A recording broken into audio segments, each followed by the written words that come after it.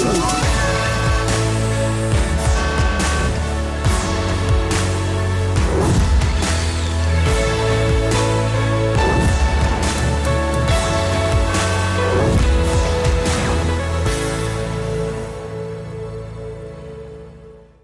Наша экскурсия, она больше общеобразовательная. Многие люди даже не знают, что такое женьшень. Э, многие знают, но не видели его в природе, как он растет, только в сухом виде, либо где-то в тех же азиатских странах. У нас можно увидеть все в природе. Возможно, в будущем мы сделаем услугу. Человек может непосредственно в оранжерее выкопать сам, либо прополоть женьшень, либо его выкопать. То есть процесс этот не быстрый, будем э, думать, как это все организовать. Лазовский муниципальный округ. Административный центр – село Лазо, расположенное в 324 километрах к востоку от Владивостока. На территории округа расположены золотоносные минеральные источники, а также добывается олово. В селе Чистоводное расположена водолечебница, где лечат болезни кожи и сердечно-сосудистой системы. Также развивается агротуризм. Например, в 2018 году открыто фермерское хозяйство «Земледар». Здесь возрождают выращивание женьшеня в Приморском крае, производят продукцию на его основе. Только в 2021 году было высажено более 50 тысяч семян женьшеня. Мы находимся непосредственно на туристическом маршруте «Женьшеневая тропа». Каждый год мы высеиваем под пологом леса тысячи семян. Можете увидеть культивируемый женьшень, э, ему несколько лет. В природе женьшень растет э, в диком состоянии. На нашей территории мы его культивируем, то есть мы выращиваем его искусственно создаем ему условия, близкие к природным, к реальным условиям. У женьшеня, который растет в оранжереях и э, на плантациях, у него более благоприятные условия, то есть ему хорошо расти у нас. То есть у него не экстремальные условия для выращивания, он редко болеет. Редко болеет, то есть получается, что это растение может и болеть? Да, женьшень, у него такое свойство есть, что это удивительное вообще растение. Он отличается тем, что он может засыпать от одного года до ста лет. То есть он может вылезти из земли какой-то период, э, порадовать наши глаза, а потом уснуть на несколько лет. Э, в дикой природе это происходит и до 100 лет. Например, в этом году у нас схожесть не очень хорошая. Надеемся, на следующий год будет лучше. Но в целом мы можем увидеть в оранжереях очень много семян, которые мы посеяли в прошлом году. То есть они все взошли.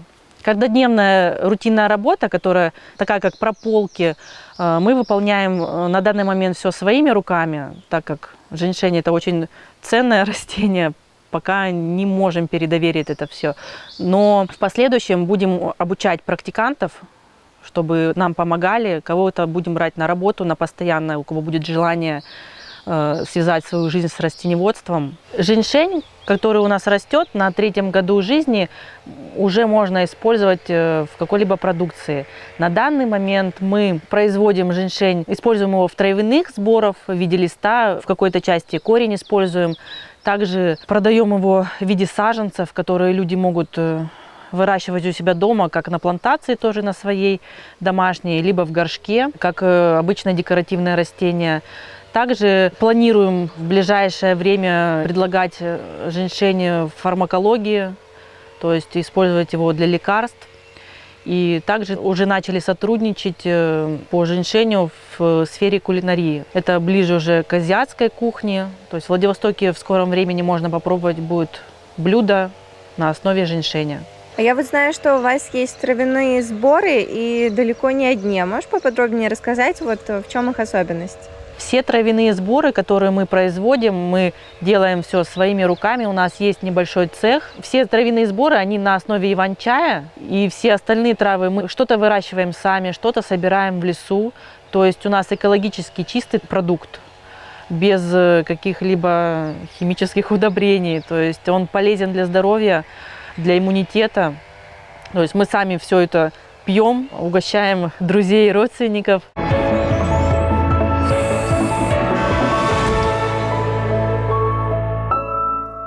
Ну, я сегодня еще раз начальнику района позвоню да, и вон там о переносе. Еще, где мы будем делать пожарные сооружения. А эта емкость не идет, которая Нет, существует? она, мы ее демонтировали, потому что она была уже в таком ветхом состоянии. А какие емкости? Две по Ну, 50? Да, я не, не помню, точно кубатура около 40 тонн на емкость. Две емкости. Там две. Да, там около сотни должно быть. Да, там около того. И она сюда ближе будет к забору, не, не на месте той уже емкости. А по благоустройству она не будет мешать? Ну, она сверху, потом на ней дорога уже будет, мне кажется. Уже когда мы ее зароем под землю. А обваловки не будет? Нет, она под землю уходит полностью. Она на 6 метров глубину. М, И сверху просто крышка люка будет вот такая. Ну хорошо. Заасфальтированная.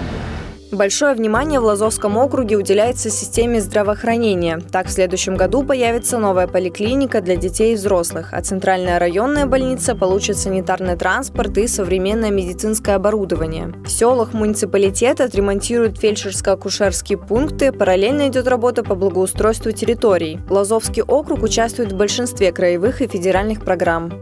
Юрий Анатольевич, а что за объект, на котором мы находимся? Что, какие работы здесь ведутся? Мы находимся в селе Лазо. Это объект э, строительства поликлиники э, по национальному проекту здравоохранения.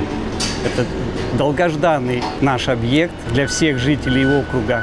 И я так думаю, что он будет привлекать молодых специалистов. И у нас не будет дефицита кадров медицинских работников. Планируется поликлиника современная, с оборудованием, укомплектованная. Поэтому у нас большие надежды. Как решили принять участие в программе? Это по программе э, Министерства э, здравоохранения Приморского края с губернатором приняли решение и дали отмашку для строительства в селе Лазо этой поликлиники. А сейчас есть какая-то поликлиника или больница? Да, поликлиника есть, которая требует капитального ремонта, и, соответственно, там недостаточно помещений для полноценной работы поликлиники. У нас вот мы видим здание стационара, там расположена скорая, тоже требует капитального ремонта.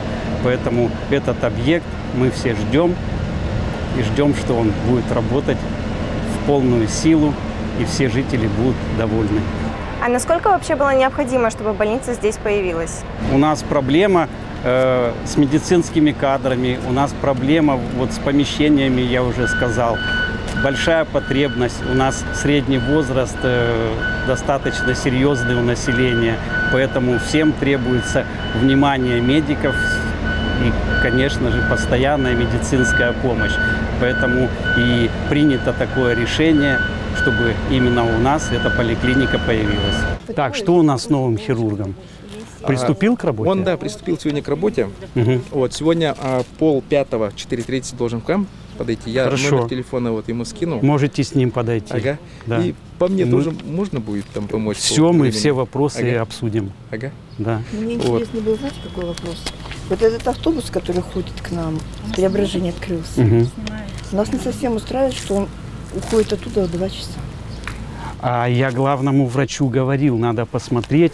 И с Чичигай Чечена Оловной мы говорили, надо свои э, предложения внести. Если нужно пе- передвинуть расписание, Что там, часиков надо на и всё. 15, может, чтобы люди успели и Ну, медкомиссию да, да. пройти, Вот, вот, э, получить документы, да. чтобы э, вот это время как раз Хотя мы занимали. Это все в наших руках. Вы Да. конкретно скажите, Ну, э, всё. во сколько, как нужно сделать, и мы это все дело с руководителем посмотрим Ну, Я и думаю, поменяем. Какие работы здесь проходят сегодня?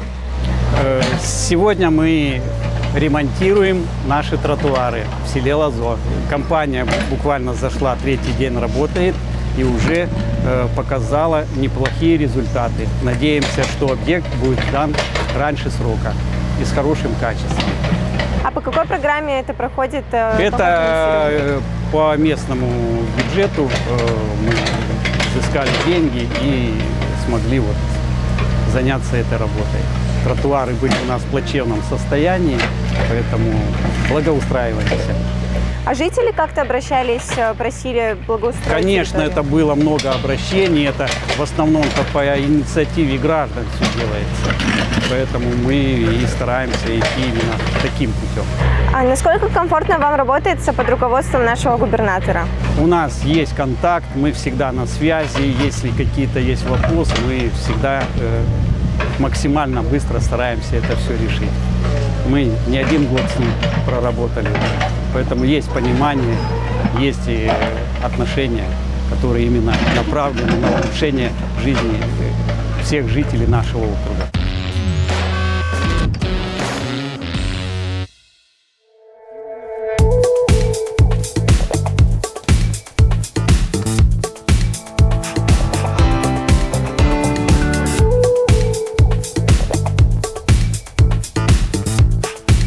Сегодня находимся на замечательном месте Лазовского района. Это мораловая ферма. Здесь обитают олени.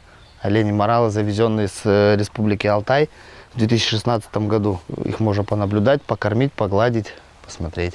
А чем это место уникально, помимо того, что здесь просто обитают олени? Ну, это место уникально. Во-первых, тут очень красивая природа. Здесь э, по соседству у нас находится Лазовский заповедник, э, чистый воздух. Ну и вообще, в принципе, в Приморском крае, наверное, одна такая ферма оленя, э, где можно контактировать с животными настолько близко, то есть и безопасно. А я знаю, что помимо того, что здесь можно контактировать э, с оленями, вы еще, получается, срезаете рога, верно? Процедура происходит раз в год. Естественно, понтачи выращивают нам понты, и мы их ежегодно срезаем на то, чтобы делать. Пока что настойки мы делаем целебные. В перспективах э, на следующий год у нас отложилось, к сожалению, в этом году мы не поставим. В следующем году мы уже будем запускать э, пантовые ванны, такую процедуру, которую могут принять и жители, и гости края нашего. А насколько этот процесс э, безопасен для самих животных? Для животного процесс абсолютно безопасен, безболезненный. Ну, единственное, что это, конечно же, паника и стресс, потому что зажимает, когда закрываем мы им глаза обычно, чтобы они не видели, что происходит вокруг, и они уже себя ведут спокойно. То есть это не больно, но паника. А что будет, если не делать этого? Как-то сами они отпадают или как это происходит? Период роста пантов идет 80-85 дней. Если э, через это время ты не срежешь эти панты, э, начнется процесс окостенения. То есть буквально за два с половиной месяца эти панты превратятся в кости, окостенеют, шкурка слезет, и это будет обычный рог уже. И эти рога, они уже сами самостоятельно сбросят э, на следующий год, в феврале, где-то в марте месяце, и опять у них начнут отрастать новые панты. То есть этот процесс ежегодный, каждый год новые панты. А что еще можно делать помимо настоек вот из понтов? Понты используют и в медицине, и в косметике. То есть, э, ну, вообще понты, спектр применения этих пантов это очень обширный и большой. Единственное, что, конечно, на Дальнем Востоке э, ну, немножко с этим сложновато. То есть нету никаких фабрик, заводов, куда бы это можно было сдать сырье. Поэтому мы вот пока своими силами настаиваем. Вот. Ну и уже говорил, что откроем пантовые ванны. То есть это очень целебное мероприятие, то есть полезное для людей. Потому что понты в себе содержат очень много микро-макроэлементов, очень много витаминов, ну, то есть очень полезное сырье. А участвуете ли вы в каких-либо программах или субсидиях? Да, мы постоянно вообще подаем заявки, постоянно бывает, что проходим. Мы вот э, буквально в прошлом году подавались по туризму, то есть по программе, благоустраиваем территорию сейчас. Э, в этом году подали заявку вот как раз на пантовые ванны. Надеемся, что государство нам поможет, ну и нам будет попроще запуститься и работать уже в следующем году. С 2015 года в Лазовском округе работает мораловодческая ферма «Заповедная долина». Парк площадью более 45 гектаров позволяет содержать стадо оленей в естественных условиях обитания. Здесь есть алтайские моралы и пятнистые олени. Их можно погладить и покормить из рук. Моралов содержат на свободном выгуле в условиях максимально приближенных к естественным. А на ферме занимаются пантовым оленеводством, которое не подразумевает использование животных для мяса. На сегодняшний день мы подходим опять к 300 головам, потому что у нас было 300 голов, но у нас случилось э, наводнение, и у нас часть животных, конечно же, выпала из хозяйства. Первое поголовье мы завезли э, в 2016 году. Год они прожили у нас, они акклиматизировались, то есть мы посмотрели, что все хорошо, и в 2017 году мы еще докупали э, поголовье, и после этого больше мы уже не покупали. То есть все поголовье уже здесь у нас местное, приморское то есть они плодятся.